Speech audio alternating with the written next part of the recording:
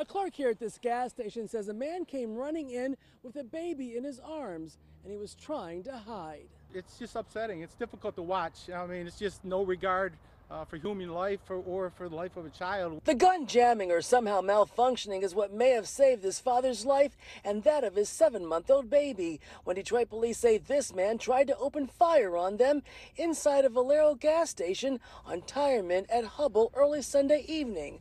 Father's Day. The father uh, quickly, uh, once he observed it, lifted his arm up and, and fortunately pushed the gun away. He was able to get him outside of the gas station and lock the door. Police say this is a felonious assault and they released this surveillance video today in hopes that someone seeing it could help them identify the would be shooter. Here he is approaching the gas station in his white tank top, tan bucket hat, and long khaki shorts. What you don't see until he's opening the door of the gas station is the gun he had tucked in his pants. Police say he's after the man holding the baby, who the clerk says had just run inside to hide. So the dad came in here for safety? Yeah, he runs. He, he runs to hide in the gas stations, but he followed him. The dad manages to push the gun away. Thankfully, he and his baby were not shot.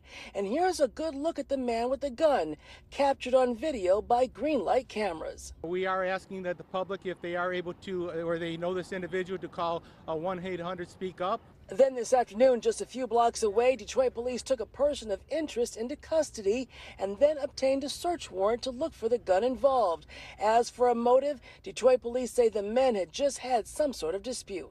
About a block away from this location there at Tireman and, the, um, and Hubbell, uh, he had encountered this individual. appears they had some type of arg- argument, uh, unknown at this time. We still are early in the investigation and trying to uh, work backwards.